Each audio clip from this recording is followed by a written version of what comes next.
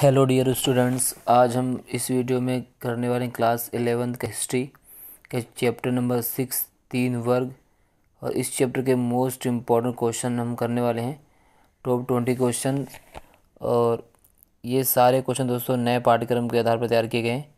तो चलो वीडियो को शुरू करते हैं वीडियो को शुरू करने से पहले जिन लोगों द्वारा चैनल को अभी तक सब्सक्राइब नहीं किया गया, वो चैनल को ज़रूर सब्सक्राइब करें और बेलाइकन को दबाना ना भूलें दोस्तों।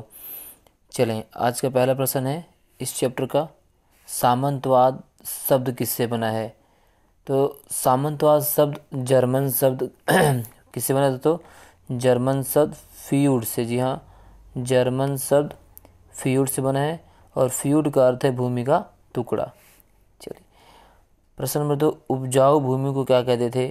तो उपजाऊ भूमि को मेनर कहते थे। जी हाँ मेनर। अगला प्रश्न, मध्यकालीन भिक्षु कहाँ रहा करते थे? मध्यकालीन भिक्षु मठों में रहा करते, कहाँ रहा करते थे दोस्तों? मठों में रहा करते थे। प्रश्न अगला है, तीत क्या था? तीत दोस्तों, चर्च को कृषकों से एक वर्ष में उसकी उपज का दसवां भाग लेने का अधिकार था। इसे ही क्या कहते थे? तीत कहते थे। तीत एक प्रकार का था और ये उपज का कितना भाग होता था दसवां भाग होता था। प्रश्न है मध्यकाल किसे कहते हैं, इसकी विशेषता क्या थी? 500 ईस्वी से 1500 ईस्वी तक के काल को क्या कहते हैं? मध्यकाल के नाम से जानते जी हाँ मध्यकाल के नाम से जानते हैं। तो इसकी विशेषता क्या थी? इस काल की अगर हम विशेषता की बात करें तो मध्यकाल में चर्च बहुत ही शक्तिशाली संस्था थी। इस काल में सामंतवाद का उदय हुआ।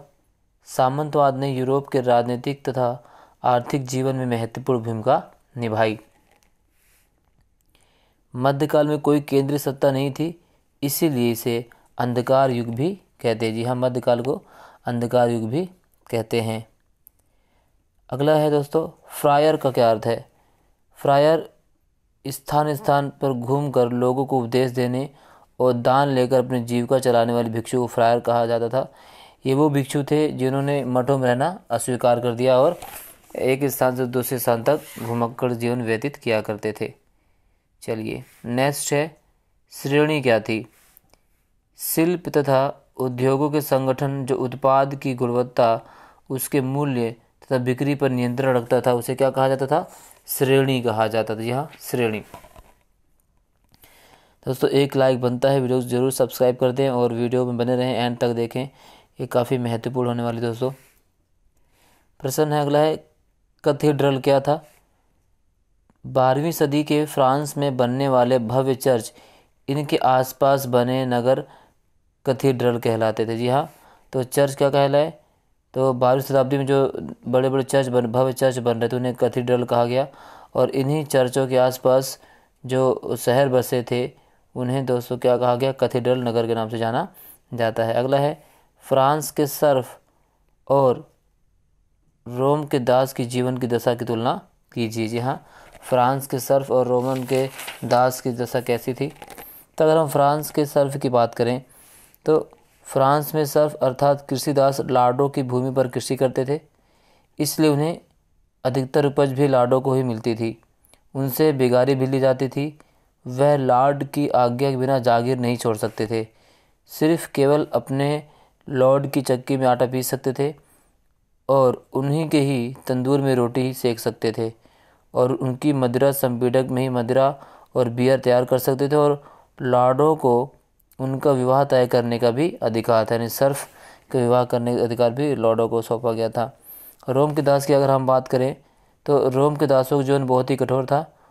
उनसे कई कई घंटे तक लगातार काम लिया जाता था। उन्हें समूह में, बेड़ियों में जकड़ कर रखा जाता था। ताकि वे भाग ना जाए। सोते समय भी उनकी बेड़ियाँ नहीं खोली जाती थी। उन्हें अधिक से अधिक बच्चा पैदा करने के लिए उत्साहित किया जाता था, क्योंकि उनके बच्चे भी बड़े होकर दास बनते थे और कुछ स्वतंत्र दास भी थे, उनका जीवन बेहतर था, ठीक है? स्वतंत्र दास जो होते उनका जीवन बेहतर था किन से रोम के दासों से। चलिए, नेक्स्ट। मेनर क्या थे दोस्तों? तो मेनर उपजाऊ भूमि को मेनर कहते थे। फीफ क्या थी? जी हाँ लॉर्ड नाइट को भूमि का एक भाग देता। जी हाँ लॉर्ड द्वारा नाइट को प्रदान की भूमि क्या कहलाती थी? फीब कहलाती थी और इसी भूभाग को फीब कहते थे। नाइट इसके बदले लॉर्ड को एक निश्चित धनराशि देता था और युद्ध में उसकी ओर से लड़ने का वचन भी देता था। चलिए, अगला प्रश्न। कैथोलिक चर्च का, चर्च एक शक्तिशाली संस्था थी, कैसे?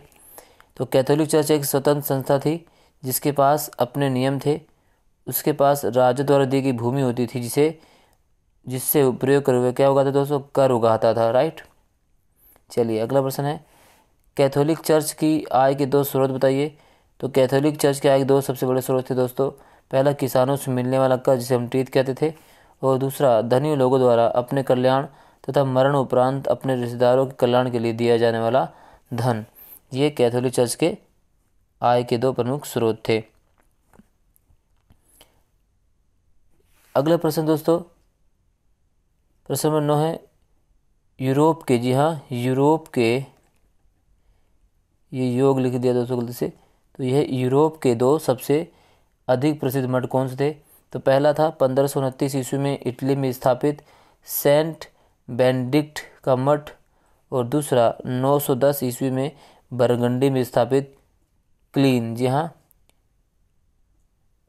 क्लीन का चर्च। चलिए, टैली क्या था और कौन लोग इससे मुक्त थे? टैली एक प्रकार का प्रत्यक्ष कर था जो राजा कृषक पर लगाते थे। पादरी तथा अभिजात वर्ग इस कर से मुक्त थे। चलिए, प्रश्न है, अगला है, फ्रांस में स्टेटस जनरल का अधिवेशन कब हुआ? तो फ्रांस में स्टेटस जनरल का अधिवेशन दोस्तों 1614 ईस्वी में हुआ था कब हुआ था? 1614 ईस्वी में हुआ था। और ये लुई जी हाँ लुई तेरहवें द्वारा जी हाँ लुई तेरहवें द्वारा बुलाया गया। इसके तीन सदन थे जो समाज के तीन वर्गों का प्रतिनिधित्व करते थे। और इसके पश्चात 1789 में 1789 में इसे फिर नहीं इस, इसे फिर नहीं बुलाया गया। यानी 79 तक इसे फिर नहीं बुलाया गया। क्योंकि राजा तीन वर्गों के साथ अपनी शक्ति नहीं बांटना चाहते थे। चलिए। नाइट कौन थे? नाइट एक कुशल घोड़सवार थे। नवीं शताब्दी में यूरोप में स्थानीय युद्ध काल के दौरान इन युद्धों के लिए कुशल घोड़सवार की आवश्यकता थी और इस आवश्यकता को नाइट ने पूरा किया और वह एक अलग वर्ग के रूप में सामने आए। चलिए। अगला प्रश्न दोस्तों दोस्तों, एक लाइक बनता है और कमेंट भी ज़रूर कर दीजिए। अगला है राष्ट्र राज्यों के विकास में किन तत्वों ने सहायता पहुंचाई? इन राज्यों में विकसित राजनीतिक व्यवस्था का वर्णन करें। जी हाँ यहाँ सभी प्रश्न पूछा जा सकता है राष्ट्र राज्यों के विकास में किन तत्वों ने सहायता पहुँचाई? ये दोस्तों मोस्ट मोस्ट इम्पोर्टेंट क्वेश्चन जिसे हम कहते हैं ना वेरी वेरी इंपॉर्टेंट क्वेश्चन में से एक है। राष्ट्र राज्य विकास की बात करें दोस्तों तो इसमें सबसे पहले सामंतवाद का पतन, ठीक है? तो सामंतवाद के पतन के कारण सामंतों की शक्ति कमज़ोर हो गई थी और इसी के कारण शक्तिशाली शासकों ने पूर्ण सत्ता अपने हाथ में ले ली। दूसरा था मध्यम वर्ग का शक्तिशाली होना। वाणिज्य और व्यापार की उन्नति के कारण मध्यम वर्ग की शक्ति बढ़ गई। इससे भी राष्ट्र राज्य उदय में सहायता मिली। तीसरा कारण था दोस्तों, राष्ट्रीय भाषा और साहित्य। इसी के साथ अगर हम बात करें राष्ट्रीय भाषा और उनमें लिखे गए साहित्य ने भी राष्ट्र राज्यों के विकास में बहुत सहायता की और नए राष्ट्र राज्यों के शासन शक्तिशाली निरंकुश राजाओं के हाथों में था। चलिए, अगला प्रश्न। प्रश्न है, यूरोप में मध्यकाल के अंतिम वर्षों में किसने सामाजिक वर्ग का विकास हुआ और क्यों? जी हाँ ये भी क्वेश्चन बहुत पूछा जाता है। तो यूरोप में मध्यकाल के अंतिम वर्षों में किस नए, जी हाँ किस नए सामाजिक वर्ग का उदय हुआ और क्यों? तो हम देख सकते हैं तो मध्यकाल के अंतिम वर्षों में व्यापार में दोस्तों बहुत बड़ी उन्नति हो गई थी और इसके परिणाम स्वरूप ये निकला कि इस युग में नए वर्ग जन्म हुआ, जिसे क्या कहा गया दोस्तों? व्यापारी व्यापारी वर्ग का उदय होता है राइट और इस की विशेषताएँ क्या थी? अगर हम बात करें, देखें तो इसमें धर्म युद्धों के कारण यूरोप में लोग जो है भोग विलास की वस्तुओं की मांग बढ़ गई। जी हाँ जो धर्म युद्ध हुआ था यूरोप में उसके चलते क्या हुआ दोस्तों? भोग विलास की वस्तुओं की मांग बढ़ गई और उसके कारण बहुत से लोग इन वस्तुओं का व्यापार करने लगे और इस प्रकार व्यापारी वर्ग का विकास हो गया। और कृषि के विकास के कारण विकास जो हुआ था दोस्तों, दूसरा था कृषि का विकास। जी हाँ। कृषि का विकास। तो कृषि के विकास के कारण जो किसान कृषिगत वस्तुओं का गैर कृषिगत वस्तुओं के साथ विनिमय करने लगे और इससे भी व्यापारी वर्ग के विकास को काफ़ी प्रोत्साहन मिला। ठीक है? चलिए नेक्स्ट प्रश्न है। यूरोप में मध्ययुगीन मठों के दो गुण तथा दो दोष बताइए। तो यूरोप में जो मध्ययुगीन मठ थे, उनके दोष और गुण क्या है दोस्तों? अगर हम गुण की बात करें तो इन मठों में शिक्षा का विकास हुआ दोस्तों, या शिक्षा के, शिक्षा केंद्र रूप में कार्य किया, और इस प्रकार पूरे यूरोप में ज्ञान का प्रसार हुआ।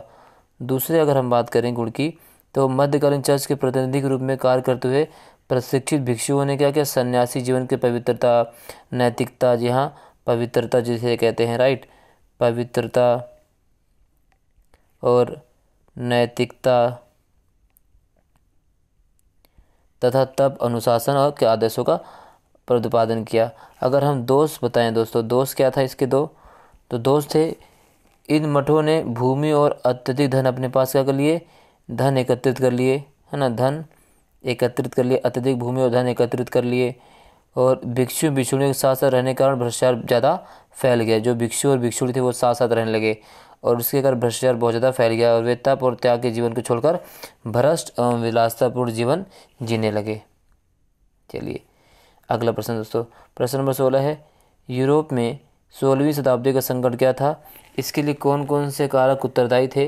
इस संकट के क्या परिणाम निकले? ये दोस्तों very very most most important question है ये, ठीक है? तो मौसम परिवर्तन हुआ दोस्तों तो मौसम परिवर्तन कारण क्या हुआ? तो यूरोप में जब मौसम परिवर्तन तो वहाँ पर कृषि की पद्धति में गिरावट आने लगी। जी हाँ तो जी, कृषि पद्धति क्या होता है तो गिरावट आई। तो देखते हैं जैसे क्या होता है, वहाँ पर मौसम परिवर्तन हुआ। तो तेरहवीं शताब्दी के अंत तक उत्तर यूरोप में पिछले तीन सौ वर्षों के अधिक, अत्यधिक गर्म ग्रीष्म ऋतु का स्थान आप किसने ले लिया दोस्तों ठंडी ऋतु ने लिया। क्या ग्रीष्म का स्थान क्या ले लिया आप? ग्रीष्म ऋतु का जो स्थान था वो शीत ऋतु ने ले लिया। जी हाँ शीत ऋतु ने ले लिया। इसके साथ जब शीत ऋतु ने ले लिया तो फलस्वरूप फ़सल उगाने वाले मौसम छोटे हो गए और ऊँची भूमि पर तो फ़सल उगाना और भी कठिन हो गया था। दूसरा दोस्तों, गहन जुताई और जनसंख्या में वृद्धि हुई।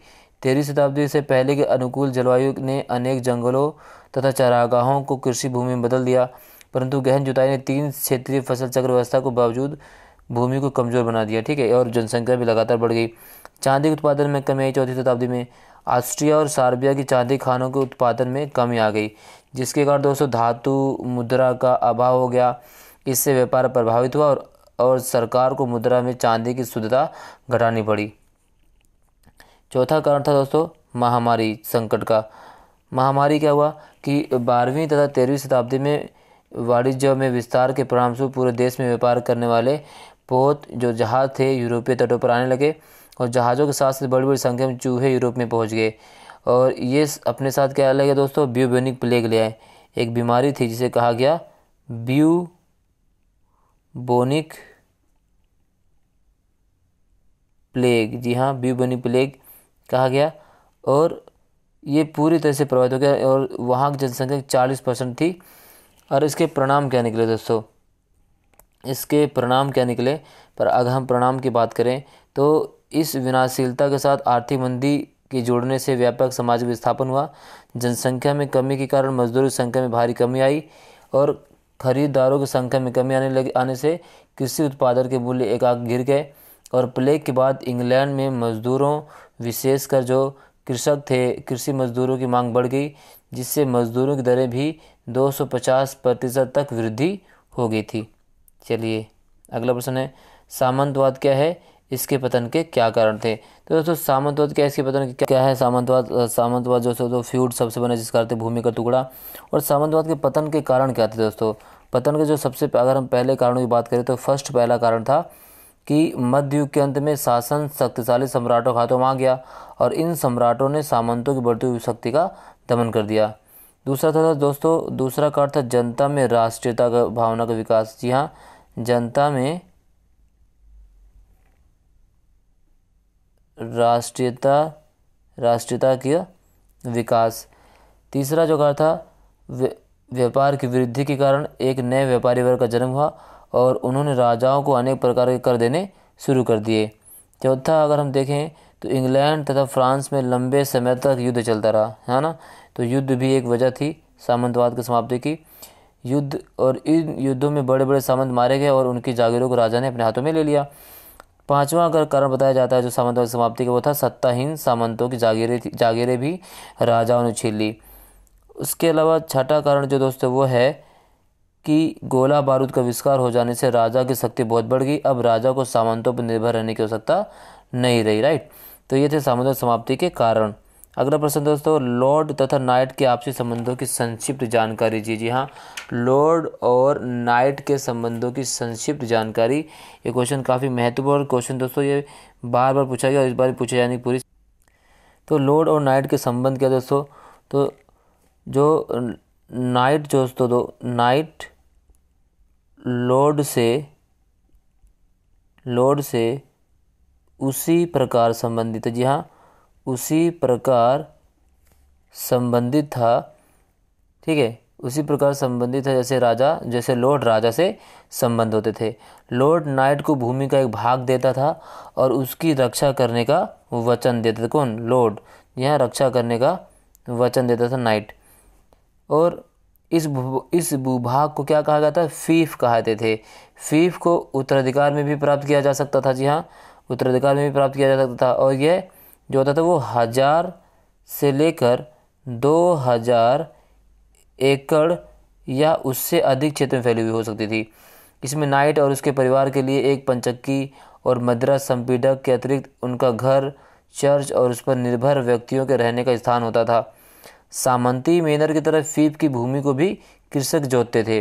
फीफ के बदले में नाइट अपने लॉर्ड को एक निश्चित धनराशि देता था और युद्ध में उसकी ओर से लड़ने का वचन देता था। अपनी सैन्य कुशलता को बनाए रखने के लिए नाइट जो थे दोस्तों, वो प्रतिदिन कुछ समय के लिए पुतलों से लड़ने तथा अपने बचाव का अभ्यास भी करते थे। नाइट अपनी सेवाएँ अन्य लॉर्डों को भी दे सकता था, परंतु उसकी सर्वप्रथम निष्ठा अपने लॉर्ड के प्रति ही होती थी। ठीक है? यह है लॉर्ड और नाइट के आपसी संबंध, दोस्तों। प्रश्न नंबर उन्नीस है, सामंतवाद के राजनीतिक और आर्थिक महत्व का चर्चा कीजिए। जी हाँ सामंतवाद के राजनीतिक और आर्थिक महत्व का वर्णन कीजिए। ये क्वेश्चन भी काफ़ी इंपॉर्टेंट है, दोस्तों। तो अगर हम मध्यकालीन यूरोप की बात करें तो सामंतवाद के कारण समाज में, दोस्तों, क्या होता है? सामंतवाद का समाज में राजनीतिक राजनीतिक और आर्थिक स्तर पर, आर्थिक स्तर पर बहुत परिवर्तन हुए अगर हम राजनीतिक रूप से देखें दोस्तों, राजनीतिक रूप में सामंतवाद के कारण एक नवीन शासन पद्धति का विकास हुआ। यहाँ एक नई शासन पद्धति का, नए शासन पद्धति का विकास हुआ सामंतवाद के कारण और केंद्रीय सत्ता का अभाव हो गया और वास्तविक शक्ति का प्रयोग सामंती लोड करने लगे। इस व्यवस्था में कानून तथा न्याय का कोई आधार नहीं था।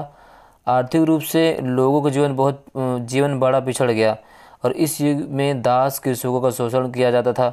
नगरों के अभाव कारण इस युग में व्यापार ठप हो गया। वास्तव में अगर बात करें तो सामंती ढांचे में आर्थिक जीवन मुख्यतः ग्रामीण था। काम किसान करते थे और उसके उत्पादन का एक बहुत बड़ा भाग सामंतों के हाथों में चला जाता था।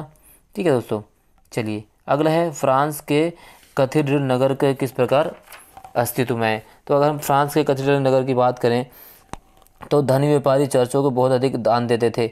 और फ्रांस में जो चर्च होते थे, वो बड़े बड़े चर्चों का निर्माण होने लगा, व्यापारियों दान देने के कारण। और इन्हीं क्या कहा गया? इन्हीं कथीड्रल कहा जाता था। यूँ तो चर्च मठों की संपत्ति थे, फिर भी लोगों के विभिन्न समूहों ने अपने श्रम, चाहे वस्तुओं तथा धन से उनके निर्माण में सहयोग दिया। कथीड्रल पत्थर के बने होते थे और उन्हें पूरा करने में कई कई वर्ष लग जाते थे। उनके निर्माण के दौरान कथीड्रल के आसपास का क्षेत्र और अधिक बस गया और उनके निर्माण कार्य पूरा होने पर वे तीर्थ स्थल बन गए। इस प्रकार उनके चारों ओर छोटे छोटे नगर उभर कर आए। यही क्या कहलाए दोस्तों? कथीड्रल नगर कहलाए। ठीक है, चलिए अगला है।